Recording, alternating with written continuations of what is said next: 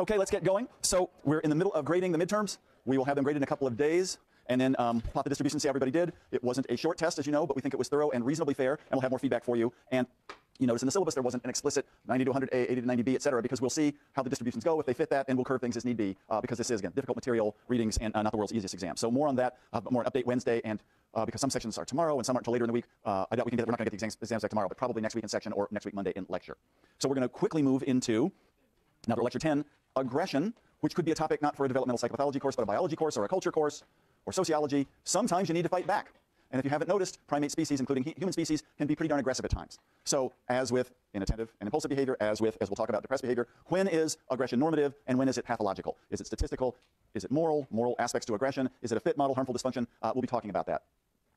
So if you believe in harmful dysfunction, that model of Wakefield's we talked about way back, aggression can cause a lot of harm to individuals. Physical injury, psychological injury, if it's abuse, aggression against a young kid, devastation to property. If you've been the victim of violence, you know what I'm talking about.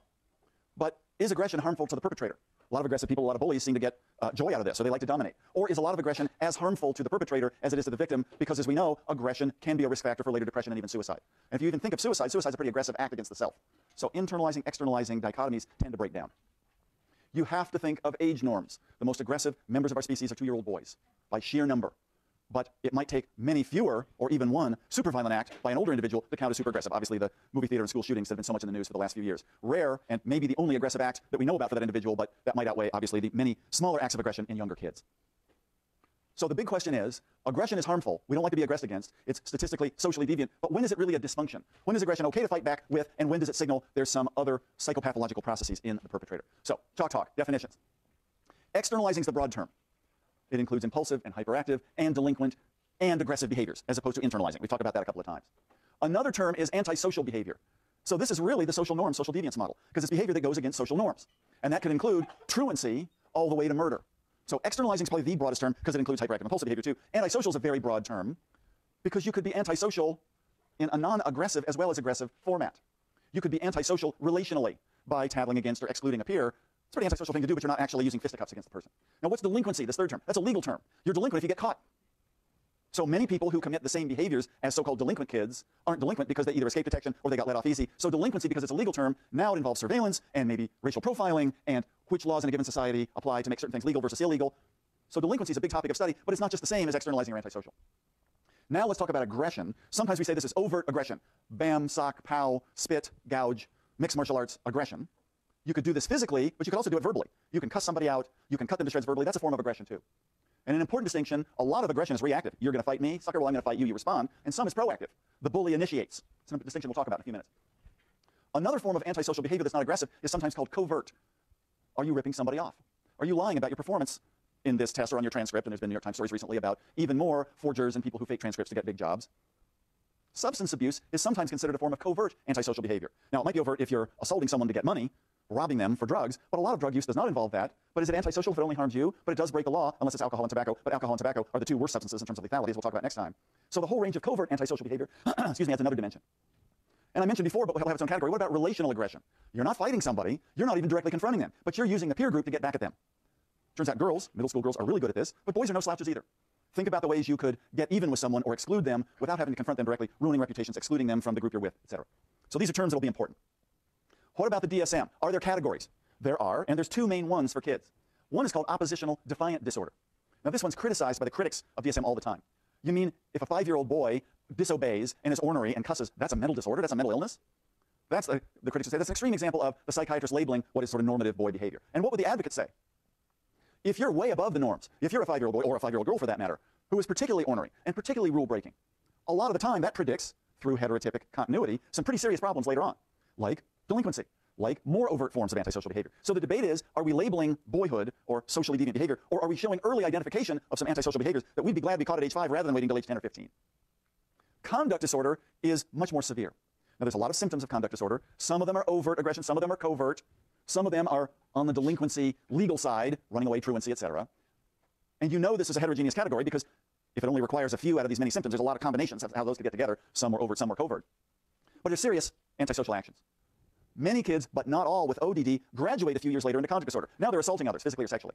Or now they're doing major robbery or burglary. So we say, unless you're just utterly abjectly poor and doing this to survive, or unless you're just following the social norm of a group, that's the mental disorder called conduct disorder. These are much more serious antisocial behaviors. As we'll talk about, it makes a big difference if you start to exhibit these behaviors when you're 6, 7, 8, 9, or 10 versus if you start to exhibit them when you're a preteen or teen. There, so there's something about real early in childhood conduct disorder that seems to be different from a more normative adolescent conduct disorder. So stay tuned for that. So how many kids who meet the criteria for oppositional defiant disorder, this controversial disorder of young kids, go on to actually have a few years later a much more aggressive conduct disorder? Before we answer that, we'll say, if it's not very many, if only 10% do, why do we leave ODD in the DSM? It's overlabeling kids who will start to adjust. But if it's a much higher percentage, man, we better have ODD in there because we don't want to wait until the kids are already on their way to juvenile hall before we label them. So that's the big issue. So what, what's a false positive? That's if you say something's a problem, but it's really not. What's a false negative? That's when you say, oh, it's fine, but it's really a problem. Which is the worst problem in labeling a kid as having ODD? Is it the false positive, saying he's really got a disorder when he doesn't, or a false negative, kind of missing the boat when the kid, you say no problem, but the kid ends up at age 15 in juvenile hall? What do you think is the worst problem? I heard first one, second one, first one, second one. Nobody knows. I mean, it's debatable, isn't it? I want to know if I could identify a kid who's going to be delinquent much earlier because I could intervene. Boy, I don't want to have a false negative.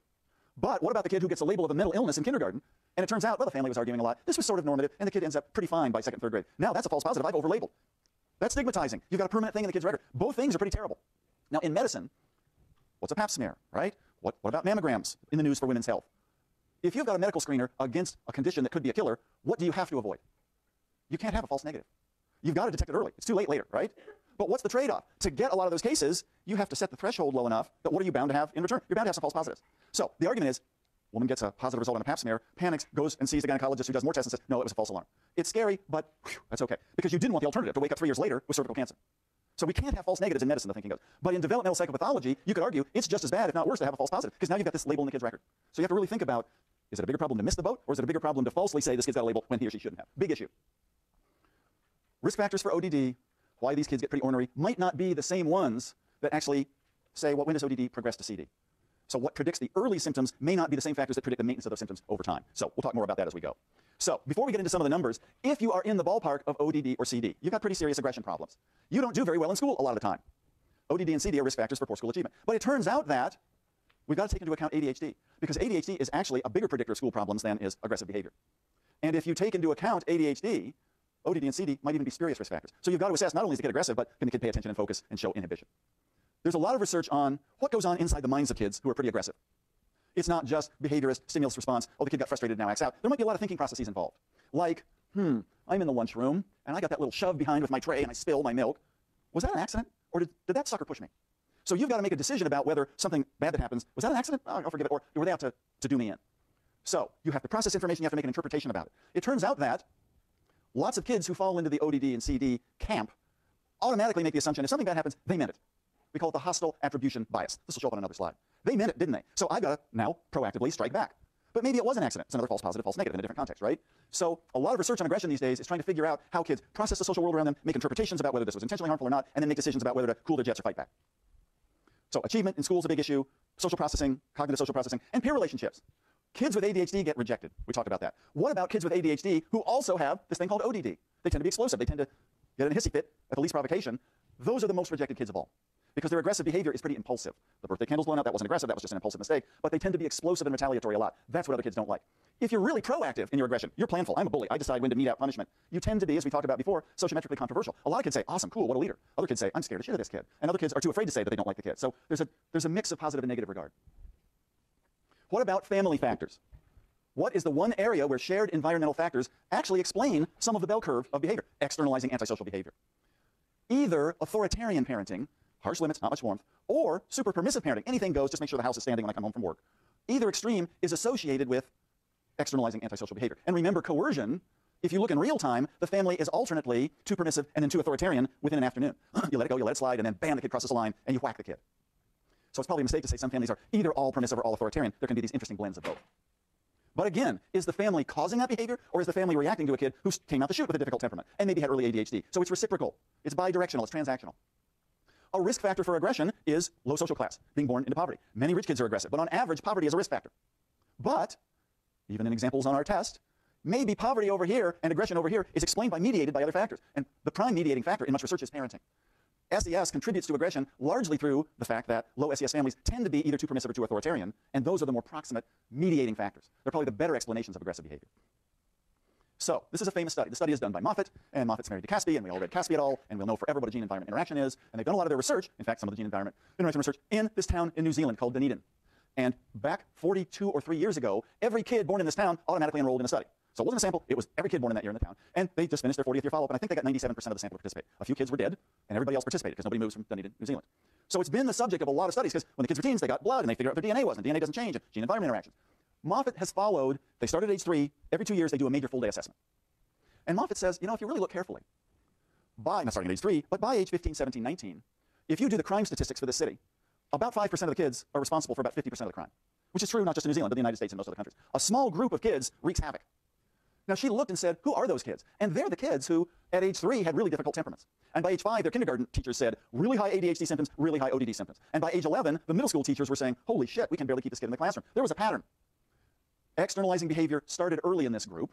Turns out to be about 5% of the boys in the sample, and just literally a few girls, under 1% of the girls.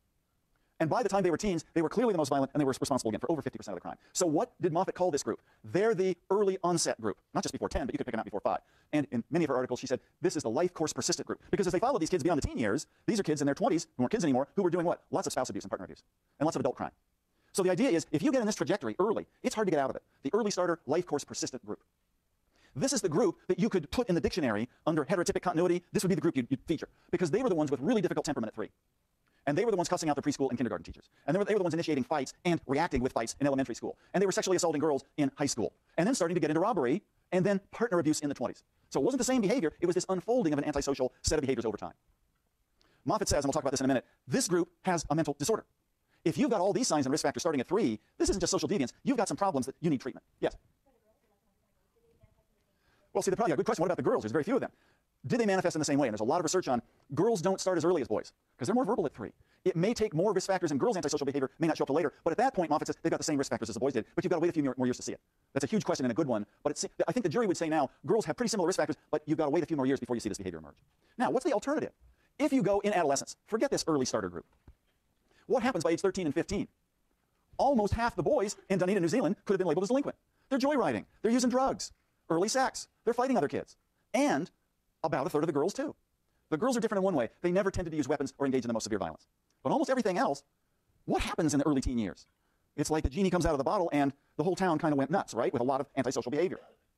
So Moffitt said, if you subtract out of this group, that 5% of boys and under 1% of girls, it's almost normal. It's statistically normative for a lot of teens to engage in a lot of antisocial behavior. And what happens to them when they hit 21, 23, 25? Holy shit, I should actually get that GED. Or maybe think about college or get a job. Or my partner's pregnant. You kind of get your act together. So her name for this group is an adolescence limited group of people with antisocial behavior. Now, what risk factors do they have? Difficult temperament when they're young? No. Aggressive in kindergarten? No. School problems in first and third grade? No.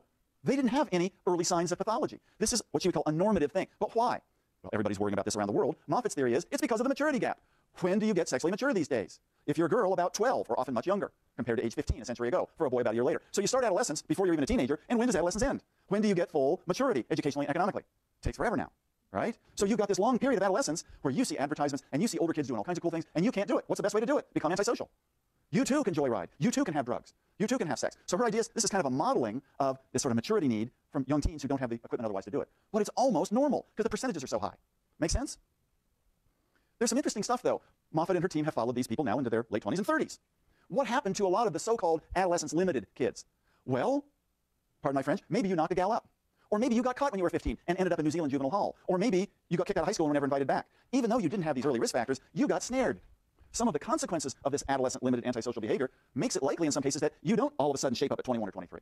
So as Moffitt has modified her theory, the adolescence limited group probably is better called an adolescent onset group because it's